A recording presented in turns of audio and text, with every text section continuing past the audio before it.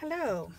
Somebody has asked me if I would show how I store and organize my ephemera and embellishments. This is it, a shoebox. That's how I store them. Um, I can show you what I have in here. I do like to put them in bags and try to separate them because that way I can see them easier. This has three different tags in there. They're kind of on top of each other. Um, this is how I was, what I was doing before, just throwing them in little, in bags. But, uh, so I need to pull these ones out and do what I've been doing in the back or the, the behind ones. Um, these are just flowers, wooden flowers that have been painted, and then I put them on strips of um, dots. So when there's a whole bag in here, I mean there's a whole bunch in here, so that way when I'm making cards, if I want to do that, and I've got the, these little bees and um, ladybugs that I like to glue on top of them. Either that or just add a little bow on top to match, but I don't put the bows on now because I want them to match whatever card I'm making. These are clouds that I've actually, I've got a die cut to do these and it's out of that foamy shipping stuff. And I like to keep these cut and just thrown in a little zippy bag or a little baggie like that. So that way I can put them on cards. These are my color blocks that I like to make. And so those I can just throw on cards. These are two different types of borders that I've made. I've done a video on both of these. These are the postage stamp punched borders where I just glue them on the on a strip of paper and then you just line these on either side of a card and these are just scrappy scraps. I had these long skinny pieces of paper and I just took a glue stick and just went down and then just literally tore pieces of paper and glued them on and I use those on on cards also. I use a lot of pretty much all scraps. I try to. These are two little flags that I have left that I've that I created.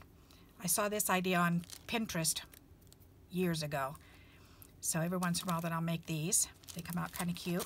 I've done a video on this, just punching out the little postage shapes and then turning them sideways and adding the little the little gems to it. Um, these are my happy flowers. You've seen these on a video. These ones, again, are postage, but I did a small one on top of a large one and 3D'd them up with just simple stickers. How easy is that?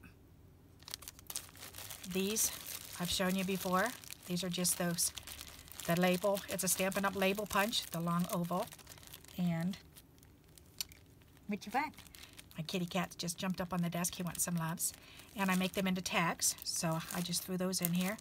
These I've shown before, just a circle on top of a circle. And my hearts, you've seen those before. And these actually, when I'm making them, see I cut the little hearts out and I throw them in the back, and then when I'm making them, I actually glue them down right on onto this paper. I'll pull the paper out, and then I'll glue the back paper, the back hearts down, and then the top part, I'll fold it in half to crease it, and then put the little 3D tape, foam tape behind it, and then glue it just down the middle where the crease is and then add the little gems.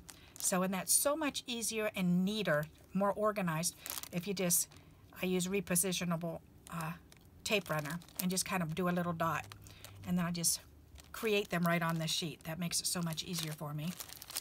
These are the word strips that I've made, and I made a video on that. I've made a video on, on my owl, owl uh, actually these are from the uh, decorative paper, pictures of little owls that I just punched out and then added them on to another bigger circle. And then this was just some glitter paper that I had, and so I just punched them out. So with circles, and I like to use those on cards so they don't get lost. I throw them in here. Bag full of, um, these are, they're plastic. They're a one inch plastic sticky back flat disc, like a cabochon. Is that what it's called? Cabochon, I think it's called. Um, and I've done just punch things out that are with my one inch circle punch and then I just throw this 3D plastic circle on top of them. So those are kind of fun. Some uh, tickets that I just decorated. I saw that idea on, on Pinterest years ago too. And more flowers. I'm pretty sure I did a video, as a matter of fact, I know I did a video on this.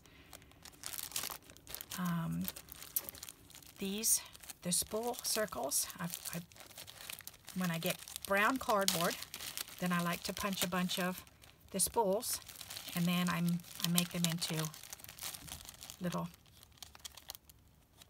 embellishments that I can use on cards. Some tags that I've made. And some of that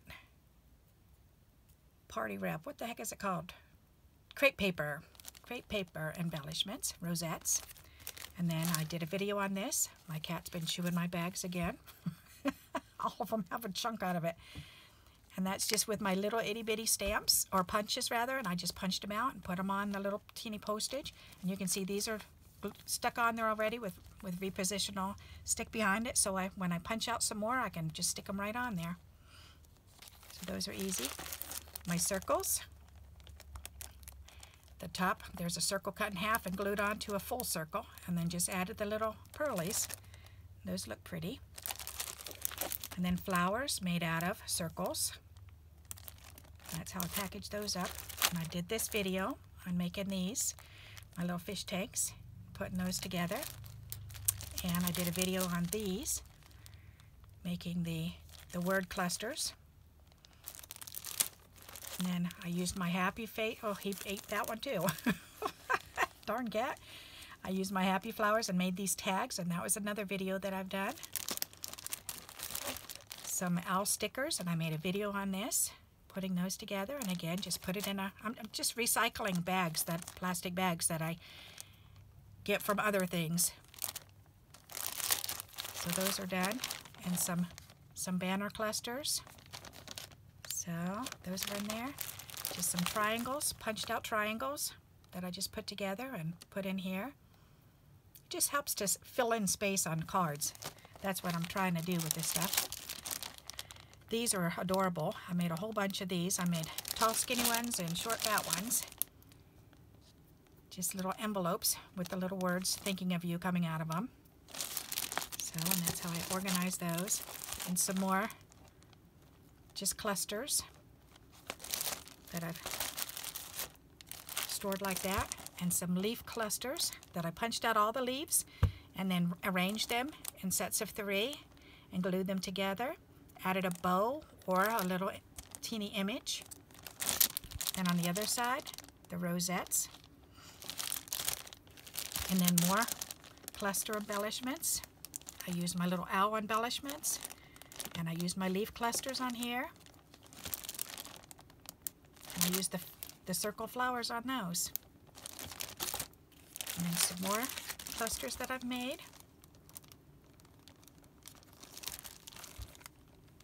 And little fortune cookie